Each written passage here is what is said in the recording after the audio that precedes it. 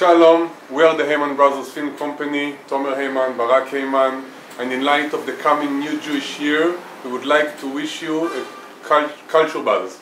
and enjoy from Israeli culture and from our movies. Shana Tova. Thank you.